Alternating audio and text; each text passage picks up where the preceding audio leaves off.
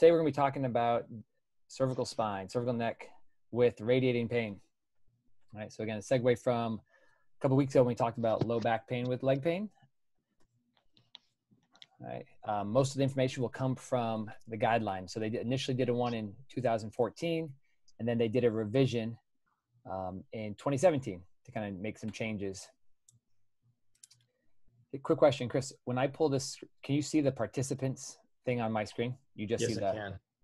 Oh, you can see all the people's name and everything. No, sorry, you cannot. Okay, cool. No. All right, you just see the PowerPoint. Yeah, Awesome. you're good to roll. Okay, cool. All right, so that's kind of what we are talking about. So if I click here, all right, so under Physio U, if I click on clinical pattern recognition, all right, go on to neck. What would be the best place to put this? Maybe right there. Okay. All right, and if we go down, so body chart, right, it's kind of easy, right? If we're talking about radiating arm pain, right, we're looking for the guy that has pain radiating down the arm. When would be an example of um, a time where we might miss that someone has radiating arm pain? Guys, think of an example of you've had a patient in the clinic, or um, just think of maybe looking at uh, chart reviews and stuff, where maybe you might miss that someone has radiating arm pain.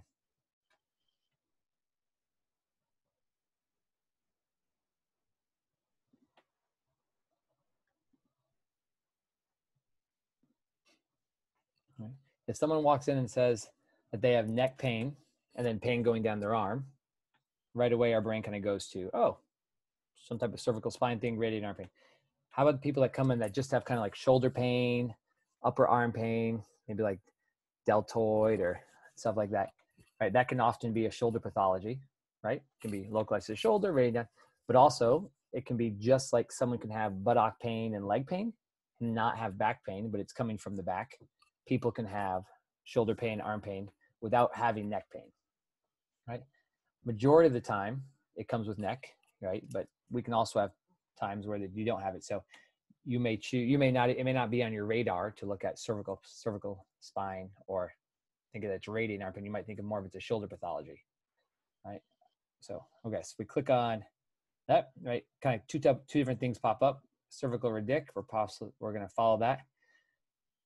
Right? So most commonly, right? Most commonly we it's seen in middle-aged, right? Um, incidences in men a little bit more than women, right? Some of the main reasons people get uh, radiating arm pain would be because of either facets, so neuroforaminal, or because of discs being uh, irritated or herniated, right? We go back. All right, clinical findings. All right. So, what do you guys think? All right, if someone's sitting in front of you, what do you think are going to be some of the key things that they're going to tell you in a subjective that will make you think that this person has a cervical radiculopathy? What are those key things? Not tests, think subjective information at this point.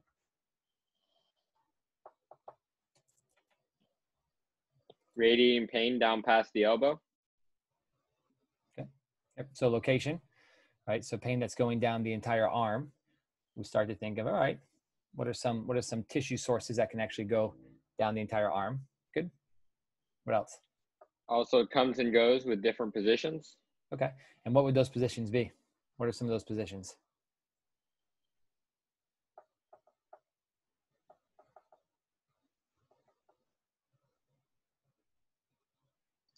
Extension, side bend to affected side, and rotation to the affected side. Okay.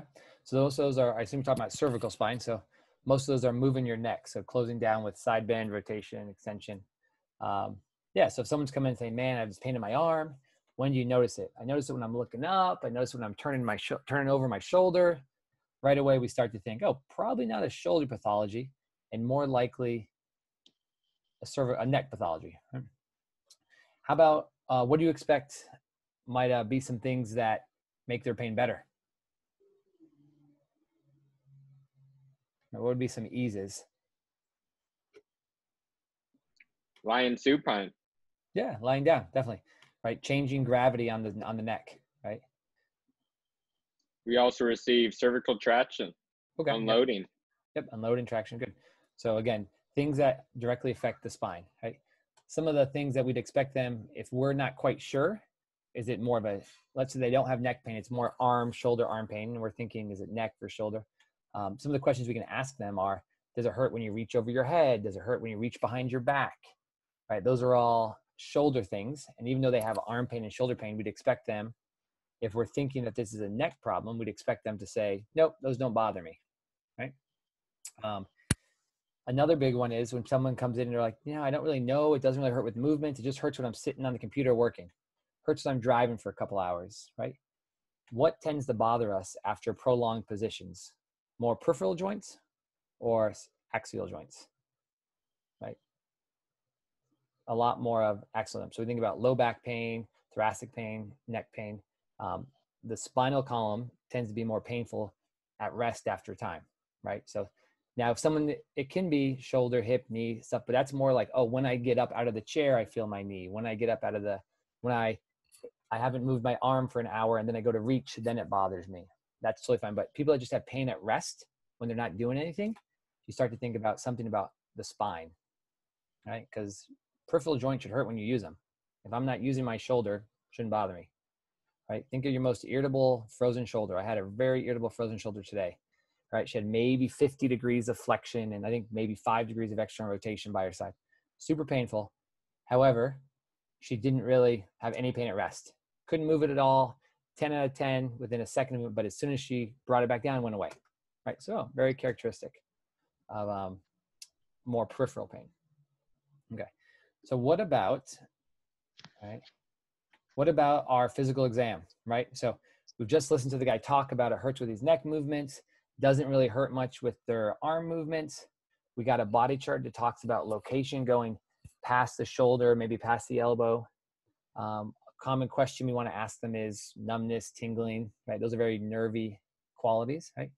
Once we get to the physical exam, what would we expect? What would we expect to find during the physical exam? What are some key tests you'd want to do? The Wainner's cluster. Yeah, which is what? What are what are the components of the Wehner cluster? median nerve tension, Sperling, cervical distraction. Good. Median nerve compression or Sperling's distraction. There's one more. Anybody know the fourth one? 60, less than 60 degrees of rotation, cervical spine. Yep. To that side, right? So if it's my right side that's affected, less than 60 degrees of right rotation. Good. Right? So we talk about if we compress the spine, does it bring your pain on?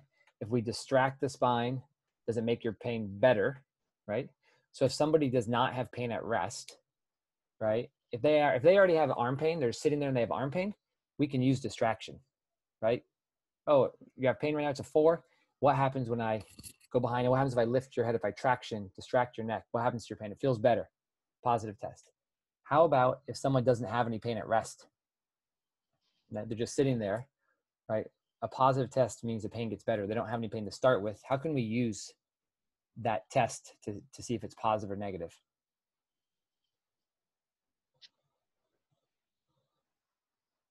Make them hurt. Okay. And what would we expect to be something that would hurt? Based on that cluster, maybe. Quadrant. Quadrant, right? Maybe even maybe less aggressive than that would just be the right rotation, right? If someone has right rotation and it hurts, painful, right? Put them in that position and then give them some traction, right? But same thing with quadrant. If you put them back in the quadrant, oh yeah, there's my arm pain. What happens if I distract? Feels better, right? There's my positive test. Right? Uh, Sperlings, right? That's your side bend, and then you compress, right? For someone who has low irritability, so they don't really get their symptoms unless they've been driving for an hour, um, maybe just at the end of the day after being busy all day, they get it. Um, how what can we do with Sperling's if we initially push on it, nothing changes, and we say, you know, I don't think it's that it's a negative test. I just think it doesn't match this person's irritability. What can we do with that to get a positive test?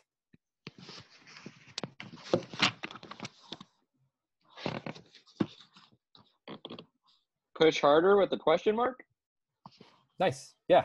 So one is we can add more force, right? The other thing we can do is hold it longer, right? So there's some studies that talk about initially you do you do a six second hold, you do a six second hold, see what happens. If nothing happens, you can then increase it and do a, a 30 second hold, right? So okay. Um, another one looks at where they had them, they did six pressures, right? So more repetitions, right? So they're really trying to make sure they don't miss it. Now, if you do it once, you get symptoms. Do you have to really do it six more times? No, right? You already got your answer. So realize you have the ability to ramp it up. Good. All right, so that would be our radiculopathy cluster, right? Rotation, upper limb, Sperling's, distraction. Right, good. Um, Sperling's can be done from behind, but it also can be done from in front. Right? What do you think there is a, can anybody think of a reason why you might do Sperling's from in front versus behind?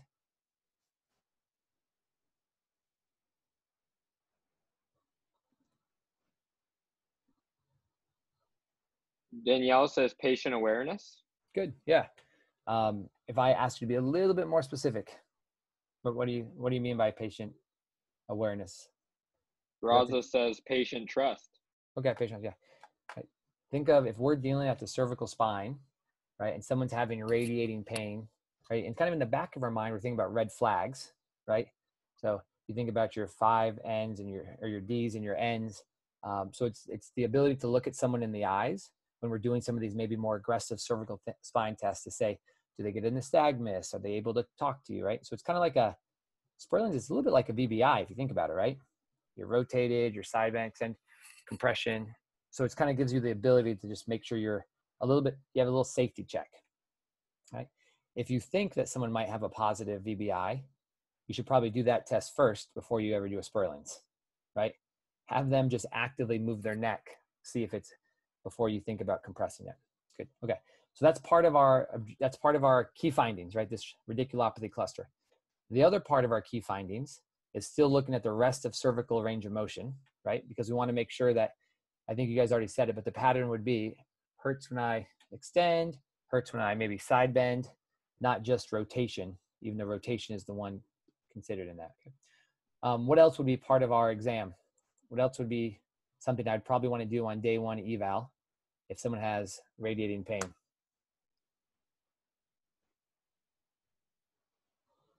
Did you guys hear?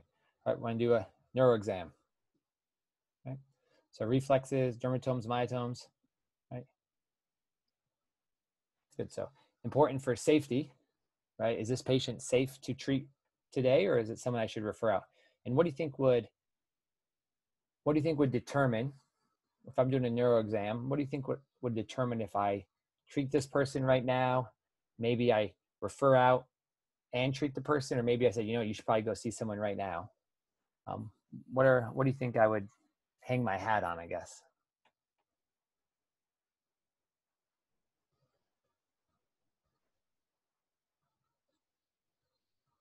A Hoffman sign. Okay, so if I'm doing upper motor neuron, yeah.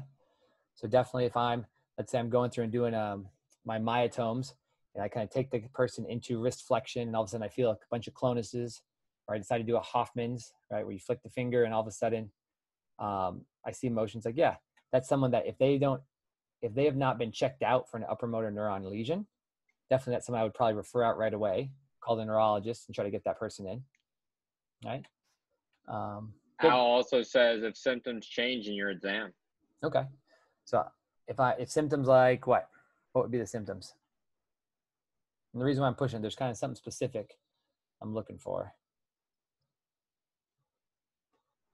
Vertebral artery compromise. Okay. So definitely if if I'm doing a VBI test and someone's positive, that's someone I'm not going to treat, right? I'm going to refer him out without treating that person. Uh, but if I'm doing a neuro exam, so if I'm doing myotomes, dermatomes, reflexes, right? if someone has positive dermatomes, so they have numbness, tingling, decreased sensation, do I need to refer that person out or can I treat that person?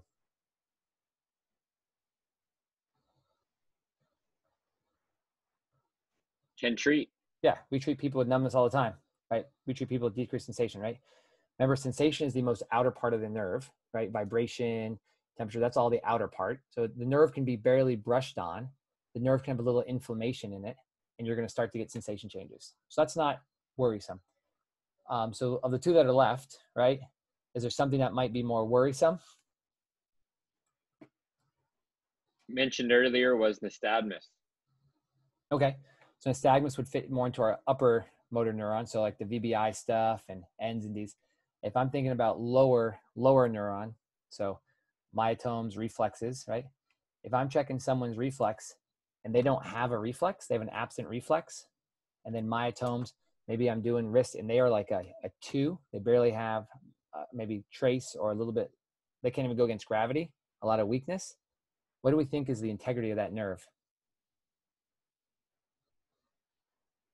Probably pretty compromised, right? Think of someone with a drop foot. If someone comes into the clinic and says, you know, I just started noticing my foot drop yesterday, I can't pick my foot up, it's just dragging on the floor, right? We're probably going to refer that person out, right? Right? That nerve is being compressed so much it's not getting nutrients, and there is a le- there is a limit, right? If if a nerve is compressed for so long without enough oxygen and blood flow, right, it can possibly not grow back as well, right? So our job during the neuro exam is to make sure, hey, are there reflexes? Do they have a reflex? Right? Are they even if they have some weakness, okay, but are they severely weak, where I'm saying this nerve is pretty compromised, you should go see neuro. Right? Um, good. Okay. So neuro exam, range of motion, and then our mobility of the nerve, and then some special tests. Very good. How about if we progress from maybe not our key findings, but more to movement faults, right? We have to move on. So not necessarily things that bring on pain, but things that may be the reason why somebody hurts, right? So I'm going to switch gears for a second. All right, so I go to this PowerPoint, right? Talk about prevalence, our key findings, right? We talked about the radiculopathy cluster, the mobility assessment, and then our neuro exam, right? Good job. Our movement faults, there's four main ones, right? Two of them are the neck, right? So if someone is always hanging out an extension, right? Their neck is always extended, that will close down and put pressure on the intervertebral space. On, let me put somebody in, right? The other thing is if someone is always hanging out in rotation or side bend, like they're closing down that side constantly, right? Then that can also put irritation on the neck. So think of think of different positions or demographics or um, careers that someone may be hanging out in extension a lot. Right? What would be an example of someone who may just be always in extension?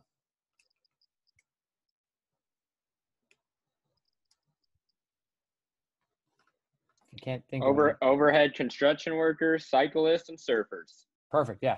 Anyone's always lifting their head up. So if I have to work overhead, an electrician, a, a carpenter, um, construction worker, anyone who's lifting their head up for a long period of time, definitely. If I have to lift something up and I'm looking up, now you think about you're going to fire all of these muscles, your upper trap, your levator, all these muscles are firing, and you're extending. You're going to get compression from below and above. Yep.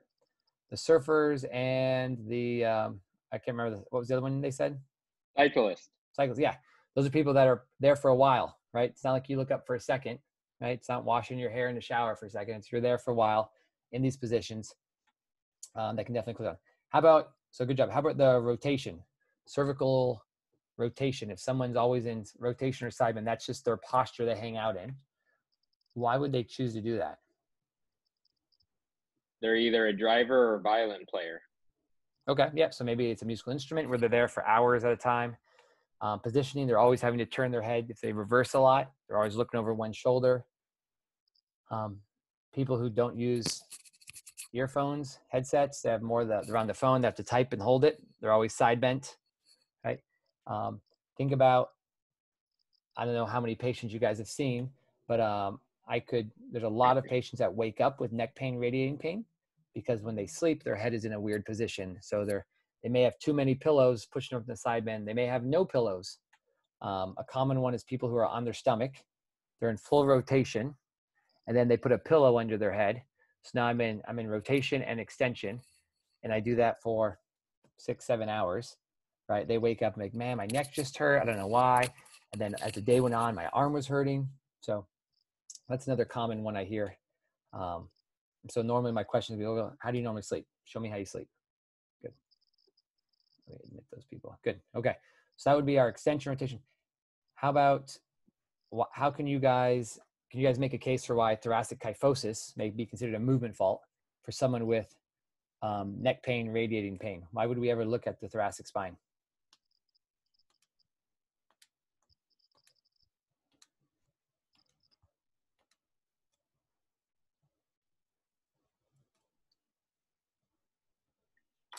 Movement movements of the neck, it's then the T4. Okay. Yep. So when I move, I should have motion down through my upper thoracic, right? If my upper thoracic is always curved forward, right? So if we think about the max we should have is 40 degrees. If I'm in a little bit of kyphosis, right? And my cervical spine was neutral, that means my eyes are looking down, right? We don't really look at the ground. We try to look up. So that means if you think about it, if this is a lot of kyphosis, what is my angle, right? My CT junction angle, right? Can be close to 70, 80 degrees, right?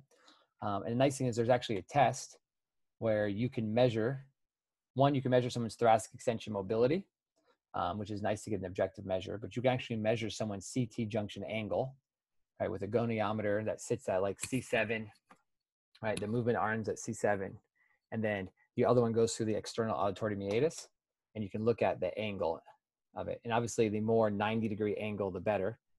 The more forward angle like that, the worse it is. Um, but it's good because these are things we can say, hey, if we're going to work on this with a patient and we're going to try to get them to correct it, um, we can measure to see if it's gotten any better.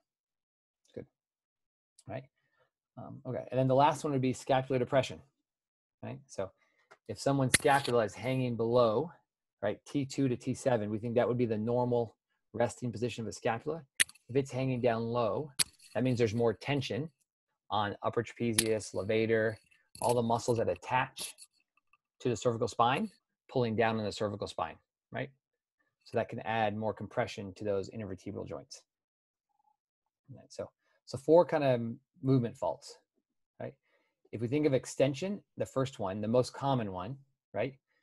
We want to be able to say anytime there's a movement fault that we think is associated, the idea is well, actually, let me ask you guys if, if you think someone has a movement fault related to their pain, right, how would you rule that in?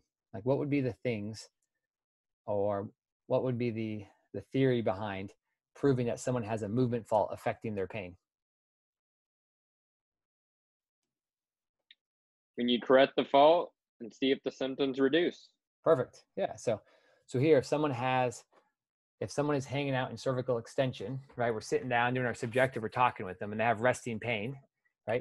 If I have them do a little bit of a chin tuck, maybe lift the back of their neck, right? Lift the back of their neck to elongate, right? And say, hey, what happens when you do that? Oh, my patient, my, my symptoms feel better. Fantastic, right?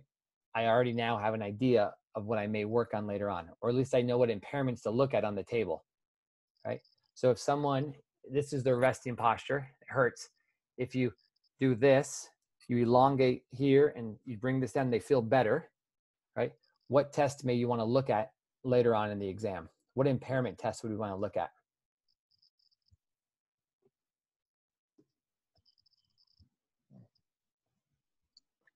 Deep neck flexor endurance.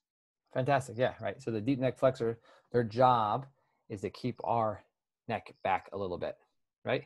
What would be another test right? I'm asking this guy to elongate the back of his neck and it feels better, but he says, man, that's hard to do. All right, this is just so much more comfortable.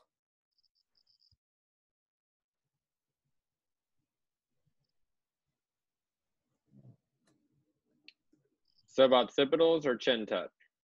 Exactly, yeah. So we'd want to look at the mobility of the back. Do they have the ability to come out of extension into more of a neutral spine position? which can be limited by suboccipital muscles. Right, so good. Right, so we have just looking at someone's posture and changing it. Does that improve their symptoms? We can then watch them look up, right? And I think as you guys already said, when people look up, we should get mobility from from C2, C1, C2, all the way down to T4, right? Not as much as at T3, T4 as we do as other places, right? Obviously, lower cervical is the most mobile. Um, but if someone is just hinging all at that lower cervical and it's painful and we see a big crease, right? If everybody flexes their elbow, you should see like you get a big crease where your elbow moves, right? If all the motion's at one segment and that's the nerve that's getting irritated, we want to kind of disperse, right? Disperse the forces. Um, I often use the example with patients in the clinic. If you work on a factory line and there's four of you, right, and three of them call out sick, that one person's doing everything right? So same thing, we don't want that one joint to do everything. We want motion to come from other places, right? So we want to correct it. What happens if you sit up tall? What happens if I do a little bit of a snag? I force you to move at T1, 2, or maybe even T2, 3, or C2, 3. Like, does that change your pain? Oh, it feels better. Great. Check, another positive test for an extension fault. Right? You guys already talked about deep neck flexors, right? Before we actually check the strength, I'm just going to ask that person, hey, lift your head off the table? And ideally, what should happen if I have someone laying supine? I said, hey, lift your head off the table. What should be the first thing that happens?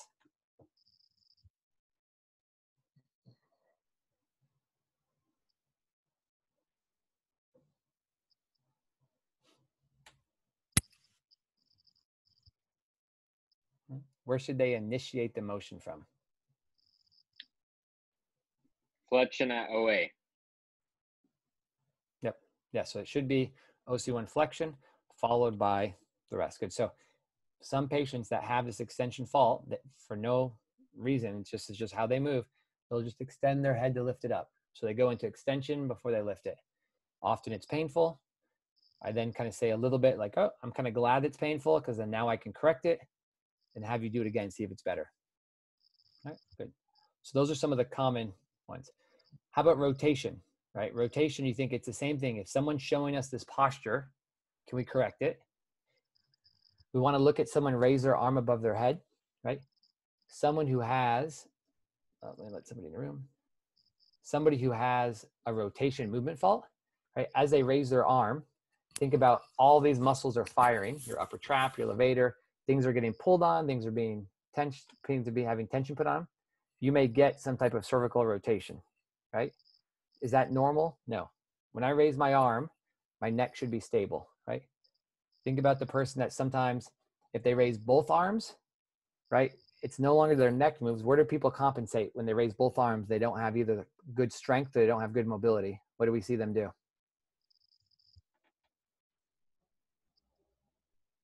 T spine extension. Yeah. It'd be nice if it was T spine extension only, but what tends to happen is people go into a big lumbar extension, right? Or people go into cervical flexion, right? So you see people, they're trying to raise their arm above their head. And when they get to where their arms get a little stiff, instead of keep going, they end up just putting their head forward, right? Because it makes it seem like your arms are going further, right? And then they get pain, right? So, so we want to look at unilateral flexion, see what happens, right? One of the common corrections for someone who has a rotation fault is that their scapula is depressed. So we have them rotate, ouch, that hurts. If I unload it and rotate again, ah, that feels better, right? So it kind of gives us an idea of um, what movement fault they may have. Good. All right. All right. Next one, thoracic kyphosis, right? So this was the third movement fault we talked about. So someone who's hanging out in kyphosis, easiest correction is if they have pain at rest, force their T-spine into extension. If they don't have pain at rest, save it, right? Make them show you something that hurts. So whether it's rotation, whether it's extension, find some asterisk sign, and then extend their two spine, see what happens, right? Does it make their pain better, right? If that's the case, if someone has really limited thoracic spine, they're stuck in flexion, it feels better when you lift them up. What are some of the impairment tests you might want to look at later on in the exam?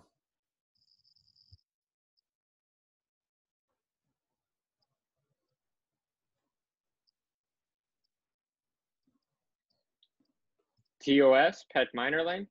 Good, good. So there's definitely muscles that can pull us forward, right? So yeah, pec minor, pec major, right? Pec major, major attaches to the humerus. So if I if it internally rotates my arms, then that's going to pull me into kyphosis. Same thing, same thing with the lats, right? If the lats are really stiff, they attach to the humerus, and that can pull me into flexion, right?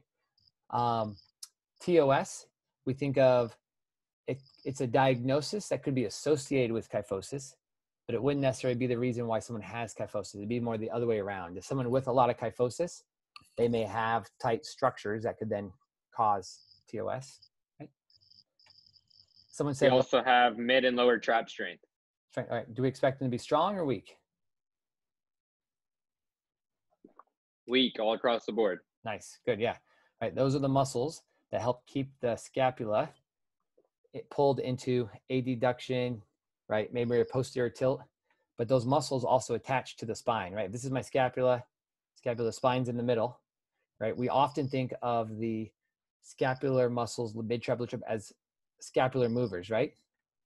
But they attach to the they attach to the spinous process, so they also can work on thoracic spine extension, right?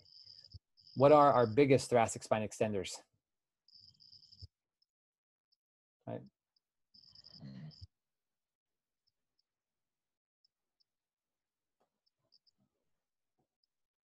Someone stuck in kyphosis, right? And I'm able to lift them out of it, meaning they actually have the mobility to get there, which is not common. Most times people are stuck there, right? We want to work on that, but they can get there. What muscles do I really want to strengthen to help hold them there? Erector spinae. Yeah, totally. Right. Sometimes we tend to, we tend to shy away from erector spinae eh? because they end up being these really big sore muscles. Right. You look at someone, you're like, oh man, those muscles are tonic. You push on them, they're painful. But think about the job they have to do. They're going to try to hold your spine up all day long without curling. And because they curl, right now they become bigger, thicker. They're working harder at this lengthened position. So we want to work on strengthening them at this shorter position. Right. So um, yeah, and, and their endurance muscles. So th- those are tests like they have like an Ito test or Sorensen for the lower extremity or for lower back would be more Sorensen, but for the middle back, you have someone lay over two pillows and then just lift their, they just lift their upper trunk. Their sternum comes off, but their lower back, they try not to extend from the lower back. Try to just extend, right? They do it um, over a Swiss ball a lot. They'll have them put their hands behind their head and then just lift like one inch off a Swiss ball right? Doesn't that look pretty similar to Sarman's test, where you lie on your back and lift your scapulas one inch off the shoulder and hold it? It's the same thing for your paraspinals. It's a great way to have them work on that trunk endurance, right? Hard thing is it doesn't feel good, right? Those are one of the things where in the moment the muscles are burning, they're aching, and you're trying to talk him through it to say, you know, hey, the stronger these are, the longer you'll be able to, the longer you'll be able to hold that position, right? Good. Okay. All right, so next one. Oh, we talked about scapular depression. So correcting it, looking at some type of cervical motion, unload it, looking at some type of shoulder motion, unload it. Okay. All right, so where are we at so far, right? We've looked at our key findings to diagnose that someone has neck pain with radiating arm pain, right? The most common nerve is gonna be that median nerve, right? But, um, and that's kind of the catch-all. If you only have time to do one, right? we do our median nerve. But remember, there are the other ones, radial, ulnar. What would tell you, what would tell you which one to do, or what would change the reason why maybe you wouldn't choose to do the catch-all median one? Right? The cluster says do median, but why would you choose radial or ulnar? Location? Location of what? Or what location, I guess? Dermatomal pattern? Okay. So dermatomal pattern would be nerve root, right? And we think of that nerve root like five, six, seven, T1, right? The median nerve kind of catches all those a little bit, right? So maybe not actually nerve root as much as like nerve distribution of the peripheral nerve, right? When we think dermatomes, right, the dermatomes are very much a nerve root. So C4, C5, C6, right? We have those locations, we check them, right? um, versus median nerve is more of a peripheral nerve, radial nerve, peripheral nerve. So if I have a radial nerve irritation, where am I expected to feel my symptoms?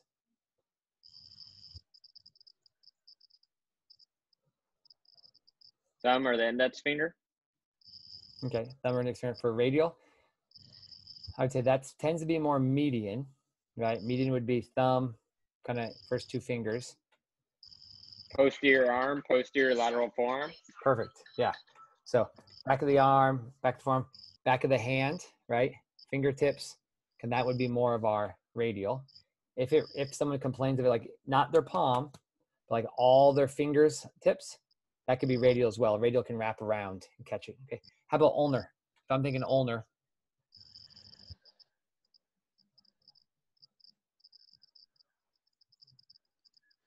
Pinky ring finger. Good, pinky ring finger. All right. So now, now the idea is, if I'm thinking median nerve and we think it's the neck, what would be the other common entrapment sites for the median nerve down the arm? Right. If I'm going to palpate and look for entrapment sites, what are the other common ones for the median nerve? Carpal tunnel. Good. So carpal tunnel is a big one. Yep. Right behind cervical spine. Actually, probably above cervical spine in certain demographics. Right. What else? Elbow, cubital tunnel. Okay. So elbow is going to be more biceps, uh, biceps aponeurosis. So not necessarily cubital tunnel. That's a little too medial, but more the anterior medial part of the elbow. Good. Pronator teres muscle. Yeah, exactly. Pronator teres, right? They have a syndrome called the pronator teres syndrome, where that median nerve gets stuck inside the pronator teres, right? Those are the people that are always using tools, power tools, screwdrivers, doing lots of rotation, vibration. That nerve gets irritated, right? Good, right? The only other one would be um, your arcade of Struthers, right? So up, up eight centimeters up the arm, kind of in here, you can tunnel it, right? So that'd be your median, right? How about radial? What are the common entrapment sites for radial nerve? Below the supinator. Okay, so supinator, that's kind of like your pronator teres for the median, right? You got something called the supinator syndrome, right? What else? Radial head. Radial head, good. Think of one more proximal. Underneath the medial head of triceps. Good. Yeah. So kind of this deltoid insertion where the triceps comes together, deltoid, right? That's going to show up on your boards when someone has a um, proximal third humerus fracture. I feel like every my OCS, my NCS sports, someone someone with a proximal humerus fracture, and then what uh what muscle might be weak if they have a nerve lesion. So one, you have to know what nerve, oh radial, and then two, you got to know what muscles are affected by radial nerve. So it's going to be your wrist extensors, right? So not your thumb, not so it's kind of a I don't know why that shows up all the time. I've never seen one in the clinic with a radial nerve faulted, but it's in all the things. Good. All right. So if we go back to here, right? So our differentials, right? You guys said for median nerve, right? Biceps aponeurosis, ligament Struthers, pronator teres, and carpal tunnel, right? Uh, oh, we skipped ulnar. Sorry. I skipped out on your learning opportunity, guys. My bad. Arcade of Struthers, cubital tunnel, right? Flexor carpi ulnaris, right? Guyon's canal, right? Here's your radial one where you have radial groove, radial head, supinator, arcade of Frohse, right? So we have these different areas and we palpate. So if someone's having radiating arm pain and we do a full cervical exam and it doesn't bring it on, but yet their nerve exam brings it on. So A, they have radiating pain, they have a positive upper limb tension test, but they're the most common place is the neck and it's not it's negative. We want to start to think of all right, what peripheral entrapment site do they have? Right? So we kind of look at different ones there. Dr. Lemoyne, quick question with that. Yep. So when you are with your experience, when you're bringing someone into say a median nerve, a ulnar nerve, a radial nerve entrapment, or sorry, not entrapment, but neurodynamic test, Mhm. um, how specific is that test with um, when you when you you know kind of wind them up and bring them out? How specific is that pain to a, a entrapment site location? Are are they going to have like an entrapment site at Arcata? Through, uh, if they have like let's say you know pain at you know Arcade of Struthers, is it pretty specific when you kind of wind them up that that Yeah. pain corresponds? just so I, just so I make sure I understand right. If Yeah. I'm doing an upper limb tension test on someone and they Yeah. get pain, is it going to hurt at the entrapment site? Yeah, Yeah. So let me ask you this: When you do an upper limb tension test on someone, how many people, if they have a cervical radic, how many of it hurt at the neck, or does it more hurt in the arm? more hurts in the arm. Yeah, Exactly. So it often doesn't hurt where it's being compressed when you do those Got it. things. It's more the thing that's being pulled on. So Yeah. it's going to hurt normally distal to where the entrapment site is. got it. right? Because that's the point that's being pulled too much. And our nerves are very sensitive to traction, especially if there's inflammation on the nerve, right? So you think about this nerve's being compressed, it's probably a little irritated, inflamed, it's not sliding. So then when you do it, you're going to feel it. So you may, you often don't feel it where it's entrapped at.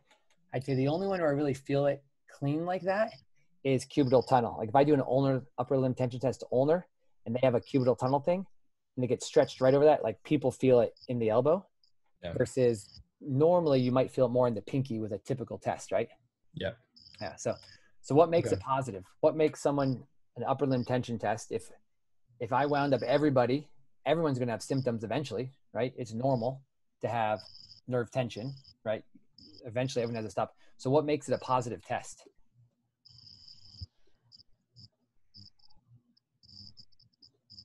Changes in position. What do you What do you mean? I'm not sure what that means.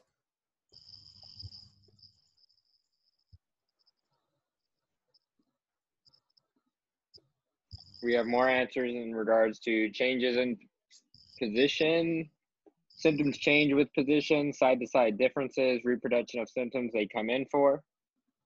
Good, perfect. All right, so I'll play one of these. I'll mute it so you guys can't hear it. So, yes, if we're doing an upper limb tension test, what we need to know is what the other side is. We need to know what this patient's norm is, right? So for the median test, right, it's at least 90 degrees of abduction, anything from 90 to 120, right? Stabilize that part of the arm, max external rotation, right? We're gonna do max finger extension, thumb extension, wrist extension with supination, right?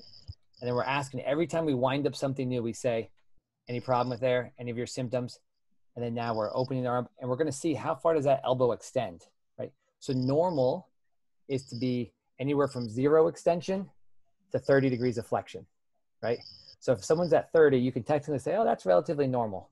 If someone's at like 90 degrees, like, oh, I feel it there, you might start to say, all right, that's an abnormal test. But maybe that's just that person's norm. Let's look at the other side. Okay. So now we have a norm. We know how much their elbow extended. We then compare it to the other side, right? And what makes it a positive test is there a 10 degrees difference compared to the other side. So if this side gets to 30 and this side's only getting to 40 degrees, we would say that's positive. Check. Number two, does it reproduce their symptoms? So maybe they actually get to full 30. So they get to the same as the other side, but they're like, oh yeah, this brings on my arm pain. Versus on this side, oh, I just felt pulling in my fingers. I felt a stretch. This was my pain, positive, right? So we can bring on their symptoms, check, or we can have a decrease in range compared to the other side. Right? Um, one of the important things that with these nerve tests, right, as we're winding up tissue, right, if I have a shoulder pathology and I'm in abduction, external rotation, I'm yanking it, this might hurt my shoulder a little bit, right? Right. If I'm doing if I'm doing the radial, right, arms down here, right, and most people are going to feel like a stretch in their wrist extensors, so we want to say, well, if I sensitize it, does that change? So I'll ask you guys, if I have a shoulder pathology, I have a labral problem, and I'm winding up into abduction, external rotation, like, ah, that, that hurts. That hurts my shoulder. That's my pain. But we're doing a nerve test.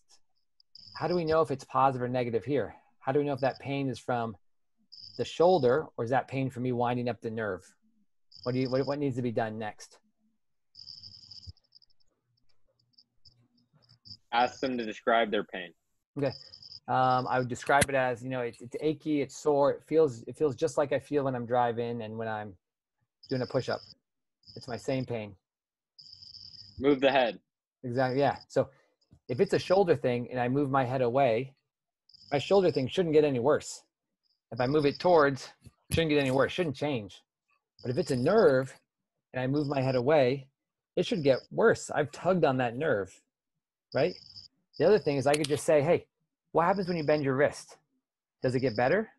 If it gets better, we said, oh, I've slacked the nerve. I've wound the nerve up. I've slacked the nerve. I've wound the nerve up. So they call that, you know, trying to sensitize that test. So if someone has a positive test, A, what's their range? B, is it the location of symptoms? And C, how do I know it's nerve and not something else, right? Um, can you guys think of another place in the body where that's a really common where it's really not maybe it's an important thing to do when we do this nerve test because it's common to miss it. All right, what do you guys think? What's another area in the body, another nerve test where often what they feel might be mistaken for another structure? Slump test? Yeah, slump test or anything in the leg. You think about sciatic on the posterior side people bend down, they feel pulling their leg. People are like, oh yeah, my hamstring. It's my hamstring. I pulled my hamstring. Maybe it's the sciatic nerve.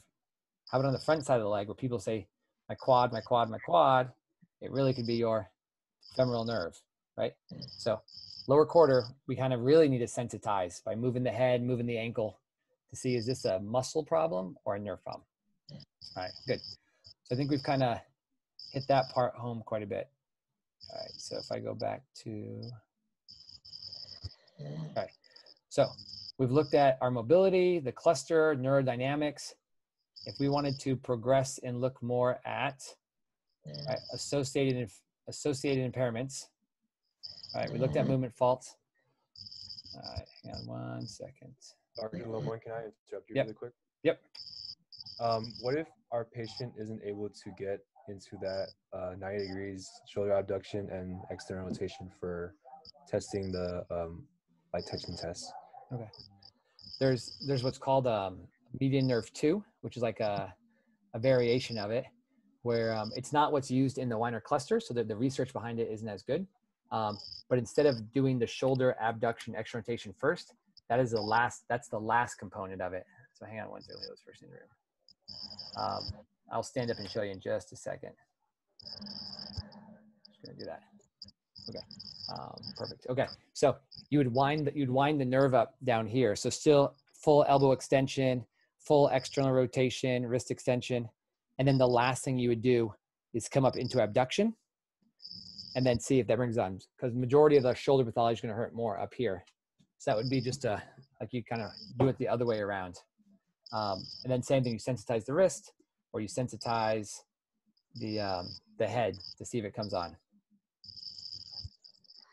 Okay, and just one more thing. And is there like another way to do a nerve slider if they can't be in that position for like a median nerve slider? instead of like the typical this one up here. Yeah. If you you can pin their arm to a wall, see if I can do it. Right.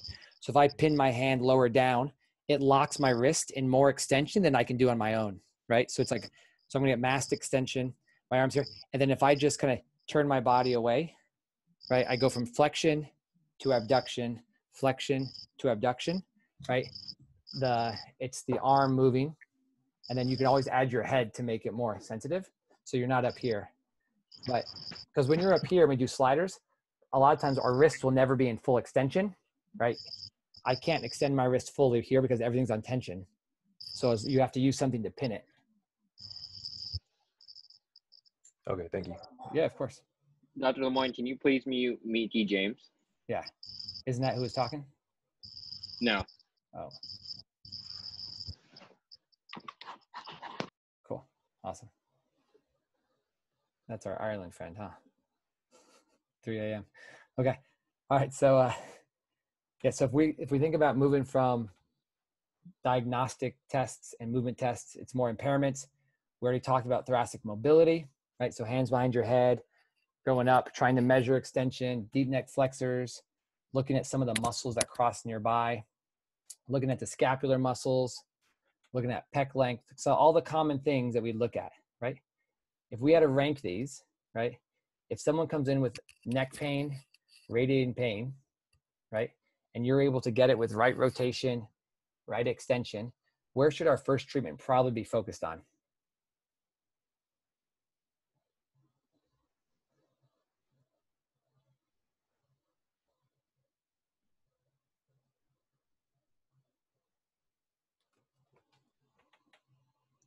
Entrapment site reduction.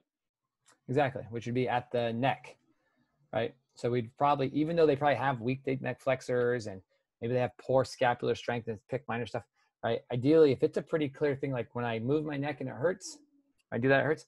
It's like, all right, is there something at the neck I can do to free that up, right? Or if I just correct their position, whether it's scapula, thoracic spine, and it gets better, great. We're gonna work on just that stuff. That would be level one these associated impairments, like looking at thoracic mobility, deep neck flexors, think of these as, hey, you know what, we've worked on the neck, it hasn't gotten better. What's driving it? Or B, hey, it's gotten better, but this is why it started. Let's normalize these so it doesn't continue, right? So that would be it. And then differential, we kind of talked about, right? If I come back to this one, right? With our differential, it's going to be either TOS or distal nerve, right? Those are the two most common. We already walked through the distal nerve. What would be those TOS tests that we might have to do?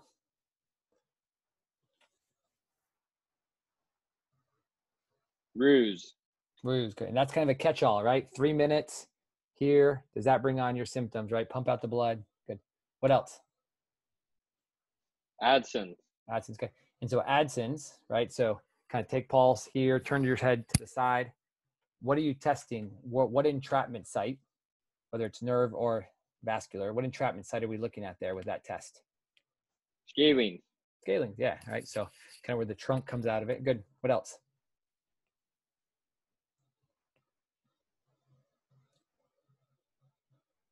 Two, two more, two more. CJ and Shannon say military brace.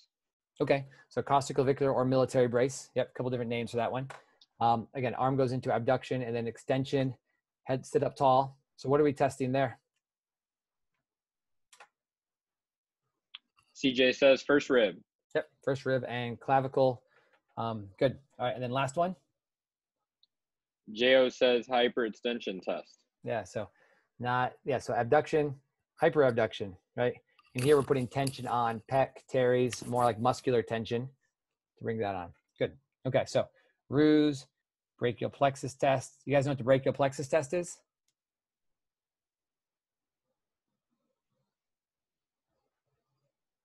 No. It is like uh, it is a palpation test, like your peripheral nerve stuff, except you find your suprascapular fossa. So you would stand behind the person, and your thumb would go. How do I do it? Your thumb would go right above the clavicle into that suprascapular, and you just squeeze. So kind of like if you're squeezing someone's upper trap, go inferior to that, and you just squeeze there and see if that brings on their symptoms. Right? Kind of need to be careful and be like, is that your symptoms you feel? Because it's not comfortable right? Just like if you guys ever pushed on each other's first ribs, not a comfortable test, but you're saying, does that bring on any of your familiar stuff? Good. I think you guys nailed Adson's, costoclavicular, or the military, um, hyperabduction, and then cervical rotation, lateral flexion. Right, there's an end there, that picture's covering it. I do know how to spell flexion, I swear. um, that one, right? So you're kind of turning and going down, right? You're looking for mobility. What are we testing mobility of? First rib height from Chris Juarez. Yeah. So if I turn left and go down, I'm checking first rib on the right. So you think about if I turn it, it kind of the scalenes put tension on the scalenes, the scalenes pull it up, and then it would doesn't move as well. Right. Good. All right. So that would be all of our testing. Right. We already talked about red flags.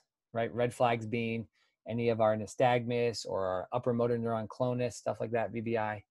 Um, right is there any other um, is there any other information that you might get from a patient that might tell you this is not the typical neck pain with radiating pain right think of um, a common differential for someone that has neck pain with arm pain that we don't see as often but we definitely see it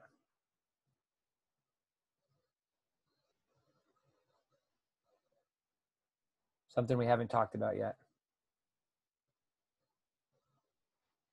How if the patient says, you know, yeah, I got this arm pain, you know, it's actually it's on both sides. Um, I can't really button my shirt. I feel like I'm a little, I feel like I've been losing my balance more often. All right, so now we start thinking about cervical myelopathy, right? Where the spinal, it's no longer a nerve root, it's actually the spinal cord itself is being irritated or impinged. Um, so it's, again, something we want to look at with that. Good. Okay, so let's move on to interventions, right? The thing patients like the most. Okay, so intervention, if we're thinking manual therapy, if it's someone who's really acute and working in entrapment site reduction, right, it might be traction. It's going to be just gentle mobilizations to that spot, right? Um, it may be working on muscle PIRs. So you think about if someone has a big acute nerve irritation, those muscles on the neck start to get tighter.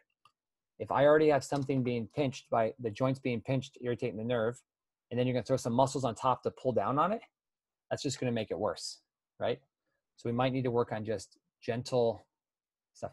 If it's subacute or chronic where it's not that irritable, now we can start working on more physiological mobility, right? So whether it's up glides, down glides, side glides, right? Um, so this is the patient supine and it's just moving the joints the way that the neck would move if you're either turn or side bend, right? A lot of the studies and the guidelines talk about side glides being the um, being the most recommended. I don't want to say the word best, but the most recommended for neck pain, radiating pain. So some of the cervical radic that supposedly gets more nerve mobility, maybe not necessarily joint mobility, but more nerve mobility at those segments. All right. So, but again, the idea is that you assess them, up glides, side glides, down glides, and see which one is the stiffest. Right. Good. So accessory mobilities would now be the person prone, and we're doing PAs, right? So, and this is to the cervical spine, right? Maybe we want to work on upper thoracic mobility, right? The nice thing is if it's a nerve entrapment in the neck, we can be a little bit more aggressive at the T-spine, right? So we can do grade fives or high velocity thrusts, right? Um, so whether it's working on the upper T-spine here for this one, this one is working more on thoracic mobility. So whether it's the general prone manip, seated manip, maybe some extension snags, right? Um, PAs, right? So we have a lot of treatments that are focused on the thoracic spine. And the nice thing is there's a lot of research that says treating the thoracic spine helps people with neck pain, whether it's acute neck pain, chronic neck pain, or radiating arm pain, right? Um, quick question, Dr. Lemoine, going back to the side glides. If the patient has right side of the neck um, pain, Mhm. are you doing then left left sided side glides? Yes. You are, Okay. if the pain's on the right, you're going towards Left your, to right, Yes. Yeah. You're doing that way, which is relatively, right? If I'm opening opening up that side. Yeah, so it's opening it up. Got So in the clinic, though, if you're doing that and you're pushing on this side and the pain's on this side, we hope to feel it on this side. The other thing you do is come on this side and then do up glides on that side. So you can open it with rotation on the same side or open it with side bend on the other side. But the studies that they found were more the side glide stuff. Awesome. Cool. Good question. Good. Okay. So subacute, we're looking at more aggressive at the neck, more aggressive at the thoracic, upper thoracic, mid thoracic. And again, what would make us want to treat the thoracic spine? It's during our objective exam, that person's symptoms got better when we pushed them into extension or when we PA them, they're very stiff there, um, right? Something led us to go away from this neck to treat the thoracic spine, right? then neurodynamic mobility, right? So acute, subacute, chronic, right? So you think about we have acute, maybe very low level, where we're just moving one body part. So my arm might be straight, I'm just moving my wrist, my shoulder, my elbow, everything else is slack, right? I might even be moving the other side, right? There's some articles that talk about doing sliders and tensioners on the opposite side is helpful for the nerve roots on the painful side, right? So if they're really acute, um, maybe about two weeks ago, I had someone who just laying down supine, totally fine, just asking them to dorsiflex, right? Just laying flat, sort of brought on their radiating leg pain, right? So it's pretty, um, pretty irritable. I didn't even get to, so it's like a zero, straight leg raise is zero, right? It's kind of what it was. Um, so then really I wasn't going to do many sliders with her, right? So we kind of just put her in a position of comfort and I had her work the other leg pretty aggressively with a sheet, like going all the way up in the straight leg raise to just decrease her resting pain and try to get the nerve to calm down. If we're doing subacute, right, it's going to be more sliders. Sliders meaning as I put tension on it, if my wrist is here, if I put tension on, then my head's going to go towards to slack it.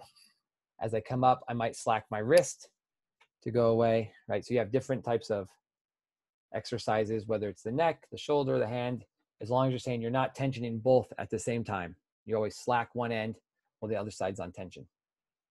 Right? Right? This would be our tensioners. So now with our tensioners, we are putting the whole entire system on tension. So I would side bend away, wrist extension, and go into full elbow extension, come up, full elbow extension up, or even maybe just go wrist here, wrist. But I'm everything is on tension, right? Good. So someone who we're not worried about inflammatory stuff, we're not worried about them not having problems sleeping. It's really it's like, oh, if I sit on my computer for a while, if I turn my head, I'm fine. If I turn my head a bunch of times, I'll feel it. Those are the kind of the the person. Um, person that you pull their arm, it's really tight. Yeah, it hurts a little bit, but it's just more it's lacking range. Good. All right. Okay. So that would be our manual therapy, right? Our Therex is going to match it, right? So either we're working on mobility of the neck, mobility of the nerves, or associated impairments like pec mobility, thoracic spine mobility, stuff like that, right? So you have these options that just match it, right? Coordination. This is going to be where we're working more on interregional dependence. So the deep neck flexors, motor control for those movement faults. So if someone has a scapular depressed, a depressed scapula, what are some exercises to work on improving scapular elevation? If someone has a lot of thoracic kyphosis, what are some exercises to improve thoracic kyphosis, right? So um, scapular strength. So it's kind of trying to match the impairments you feel. Right? right? So here's our interventions for acute, right? Neurodynamics, sliders versus tensioners. We talked about that. Our entrapment site reduction, right? So doing self mobilizations, towel traction, right? Working on nerve mobilization and then improving some of the associated impairments, pec, thoracic spine, etc. Deep neck flexor strengthening, scap strengthening, kind of more like just overall postural stuff. I would say though, a lot of people have weak scapulas. A lot of people have weak deep neck flexors, right? Pretty much across the board, majority of people. So the idea is, do we really want to spend time strengthening these um, if we don't know if they're related to their problem? So I would say before I spend time strengthening someone's deep neck flexors, I really want to make sure that if they get them stronger, it's going to help their problem, right? Do I want to invest my time and have the patient invest their time in working on something that I, I want to make sure that they work on something that I know is going to help them. So I will be their fake deep neck flexors. I'll put their head there, I'll hold it there, have them retest whatever it is. And then if it's better, I can make, all right, I'm pretty confident if you can get these stronger, you'll get better, right? Same thing with the scapula. If I put your scapula in a better position and then you retest your neck or you retest your arm and it feels better, now I'm like, you know what? It's worth that challenge to get you stronger for those muscles because we kind of proved it. Right? And patients tend to have more buy-in as well. All right, so I'll go back to here. All right, so Therex functions. If we kind of go back a page to patient education, right? JOSPT has a lot of patient educations about manipulations in neck pain, um, quicker recovery with just neck movements overall, uh, work-related injuries and neck pain related to depression. Um, exercise and manual therapy for your neck leads to quicker reductions, right? So there's lots of, and then also through PhysioU, we have some of the um, patient education. Neck, we have some uh, patient education stuff as well, right? So cervical radiculopathy, what can you do for neck pain, and radiating arm pain? Three minute video or read, and it talks a lot about some of the common symptoms, right? So working on some of the common mobility stuff for the nerve, right? Traction if they're irritable, right? So nice thing is this can just be an easy email to your patients.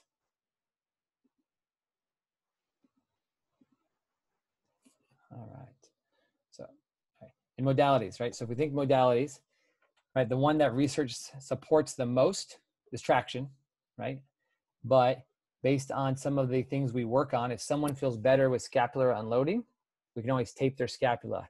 If someone feels better with thoracic extension, we could tape them into thoracic extension. Um, chronic neck pain, there's some research that talks about using TENS for neck pain. Um, however, I'd be careful with this in the sense that um, long-term outcomes aren't very good. They're more for acute in the moment. Um, and then the longer term ones that show to be a little bit better are if they're doing TENS to do something active. So I have neck pain and I do TENS to sit in the chair and it feels better, right? Very, very short term, right? Versus my neck hurts when I'm walking, my neck hurts when I'm right doing some stretches. All right, put your TENS on, you feel better, and then you do your activity, right? So you're using TENS as a way to be more active, and the being active is what will help you long term. Versus, I hope that kind of makes sense. Right? And then ice or heat right? Again, we don't want to use heat on an acute nerve irritation, but if it's more of a muscle tension, chronic nerve isn't inflamed, heat can help relax things. So then it moves better, right? Nerves do better with blood flow and oxygen, and sometimes heat can help with that stuff. Good. I think that is it. Yeah. Okay, so I'm going to stop sharing for a second. All right, so any uh, any questions about kind of cervical radiculopathy or neck pain, radiating arm pain? Um, I know it's a uh, the nice thing about it is it's very straightforward in the sense of oh entrapment site reduction, move the nerve. Like very early on, it's like if you can identify something stuck in the neck, treat it. it gets better. So that's maybe 50% of them, right? The other 50%, there's something driving that entrapment site. And that's where we need to look at those are people that don't get better in three to four weeks, but now they're looking at like a couple months. It gets the symptoms get a little better, but they still get it when they do things. And now you start thinking about what movement fault is driving this, right? And I kind of give them the idea if you bump your elbow on the table and you get this funny bone thing, it shoots for a second. Do you have to do anything to make it go away? Or do you just kind of have to protect the nerve for a little bit, right? Nothing, right? Maybe you shake it out. That's your nerve mobs. Maybe you flex your elbow, extend your elbow. That's your entrapment site reduction, right? That's what we're working on. And it kind of gets better, right? But sometimes if I keep banging my elbow every single day, right, I can't just expect it to get better with just doing those things anymore. So I have to figure out a reason why. So that would be the, hey, you're sitting like this, or hey, you're always on the phone like this. You're sleeping in a weird position, right? Um. So hopefully that kind of makes sense uh, as far as like how to a very easy case and then a much harder case where you have to start to treat associated impairments like scapula and deep neck flexors. Um, Good question we have in the chat. How would you uh, how would treatment change for the central uh, central sensitized patient? So you're talking like persistent pain, like they have um, more than just localized nerve irritation. Just to make sure that the word central is the same central I'm thinking of. Yes. Okay. Um, so it would still be nerve sliders, right? Because anytime the nerve can move, it decreases sensitization, right? So that's not going to change. Um, the things that would change would be what are all the other things that are filling up that person's bucket so i talk about people have a big bucket right and you in that bucket is sleep stress anxiety physical activity fear avoidance of movement catastrophization all these other things that make our system right just in generally more central uh, more more sensitized right so the word central meaning it's not local to my tissue it's more upstairs and just maybe your whole allostatic load so what are the things you're doing to make your system overall better. So I'll ask them about sleep and talk to them about sleep habits, physical activity, right? What are you doing for just general activity? Are you walking? Are you on a stationary bike? Um, are they fearful to move? Are they fearful of their pain? Right? I'll talk about the fact that, hey, we'll need to talk a lot about like neuro pain education, stuff like that. So the one thing that wouldn't change is nerve sliders but the way I talk to them, it's not going to be this nerve is trapped in your neck. And we have to open the space up to get your nerve to move better. We got to change your posture. Now it's going to be there's things in your life that are making you not be able to handle very much. Your bucket is already full of all these things. You have no room. You have no room left. We need to make more room. How do we make more room so your nerve hurts so you hurt less? What are the things you can change today to make your whole entire system less stressed? Right. Um, and that that is a again a much harder person to treat um, but the nice thing is hopefully you don't have to treat all those things hopefully one of those or two of those seven things they already are fine with like oh i'm not stressed at all and i sleep 10 hours but i'm very very fearful and i'm a catastrophizer and i'm depressed okay so we only have to tackle those and i want to say only because those are hard things to tackle good question though who wrote that question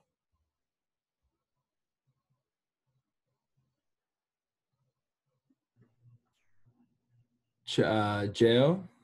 Oh, Jo. I wouldn't expect anything better than that.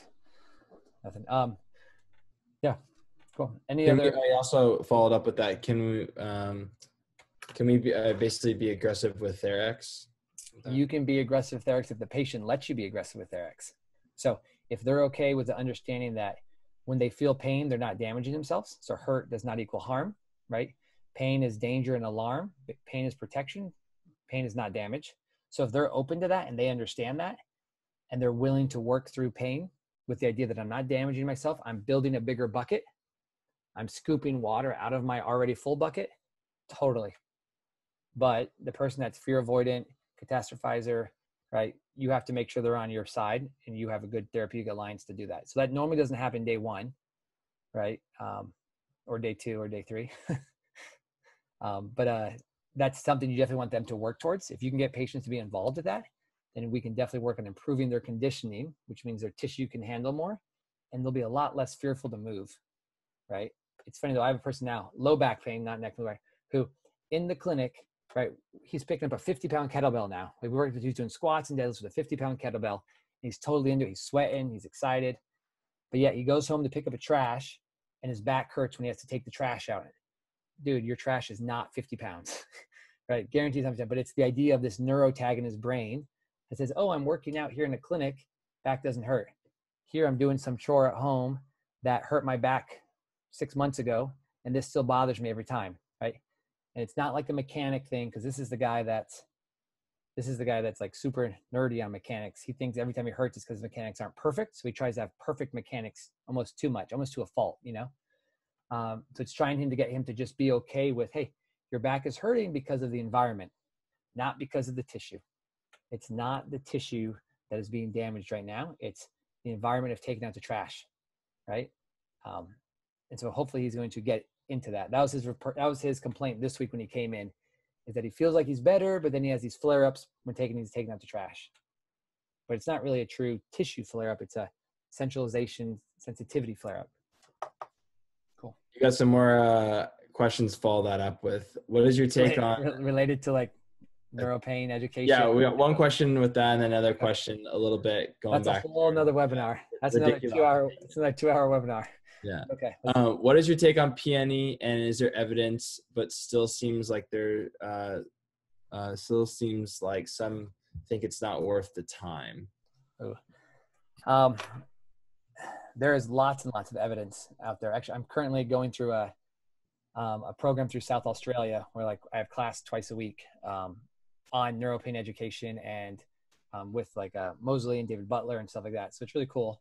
Um, but that's all we do is they just present literature after literature after literature. So tough to listen to sometimes after a full day of work, but uh, it's it's it's good that they're pre- that they have all this literature to, to present all the changes in the brain, changes in the spinal cord, change in sensitization, and then trying to now make it more clinical based. Like how do we work on patients? The hard thing is, is every chronic patient is independent. They're an N of one because they all have their own drivers, right? Their own driver of what stresses them out, what uh, how emotionally fragile are they? What is their phenotype for what their system can handle? Um, right? Financial situation, family situation. So there's other things. So I would say you can you can choose to not do it early on and try to treat patients biomechanically and what we would call the biomedical model. We're going to treat your tissue. Um, and that is definitely an easy way out. But you have to think about we fail, right? 85% of those people that are chronic and centralized are going to fail, right? There are going to be some that they start working out, they feel better, they get that, they get some endorphin rush and they kind of run with it. And they didn't really need tons of NPE. But majority of people are going to fail if they have central sensitization, peripheral sensitization, um, and we just treat them musculoskeletally and that's it. Um, they're not going to fail or they're not going to succeed. They're still going to have pain. And those are the people that five, six, seven years later, more and more and more. So the hard thing is as therapists, even people who are really well trained and they've gone through extra and extra classes, we still fail 60% of the time. So really, if you don't try, it's 85% fail. If you try hard, we can help a third of the people. Right. So it's, it's, it's tough, but we're hoping that big picture is five years from now, you have more people have an understanding of it. So when I talk to my patient about your pain is protective and it's an alarm system and your alarm system is too sensitive, right? It's not damaged. And then you go see your physician and your acupuncturist and your chiropractor and your physical med, your physical med doc, and they're all telling you, oh yeah, that disc in your spine, yeah, that disc, I can see it there. So now you have seven people telling you, disc, disc, disc, damage, damage, damage, don't bend forward. Now I'm trying to tell them, hey, it's okay to bend forward. So I think that's where we we struggle, um, and we need to make sure that everybody is kind of understand we're no longer doing this Rene Descartes model, model of we have pain sensors in our tissue. It's really more of this. No, no, it's a mature organism model where it's it's our brain that determines everything, right? No brain, no pain. So, but again, I would say those are maybe that's a maybe those that's something we can talk about more on a another webinar. I'll do a chronic pain one or some persistent pain because that's a it's a deep topic.